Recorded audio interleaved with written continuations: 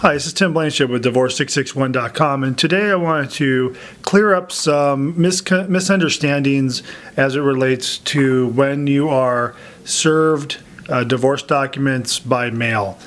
So, we specialize in divorce in LA County, and a lot of our cases are amicable. And in amicable divorce cases, what we like to do is, as instead of having the original or initial documents served by a process server, we like to mail them out to your spouse so they can simply sign a form, which is called a notice of acknowledgement of receipt.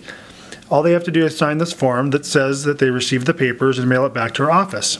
That will take the place of hiring a process server uh, and saves us some time and money. Now, what happens sometimes is when people receive the papers, like the summons, the petition, and anything else that might be included in the in the initial documents, is they'll read the documents, and if there's something they don't agree with, they'll tell the other party that they're not going to sign the papers.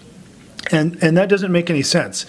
The, when you receive uh, papers from, say, our office, and we've, we've sent them to you along with this notice of acknowledgement of receipt, all we're asking is that you sign this form which says you've received the documents. It in no way means that you agree with anything inside the petition.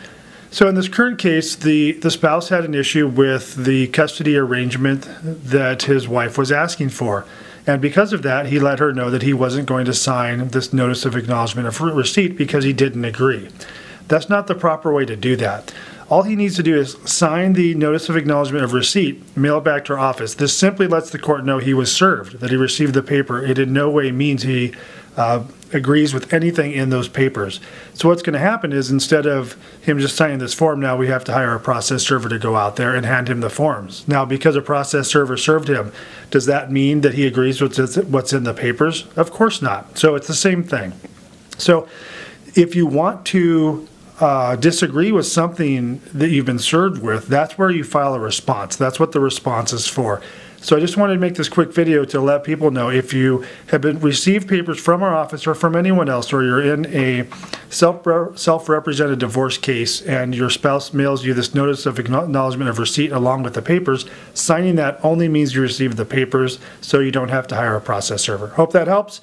Uh, my name is Tim Blankenship with Divorce661.com. We specialize in divorce in Los Angeles County.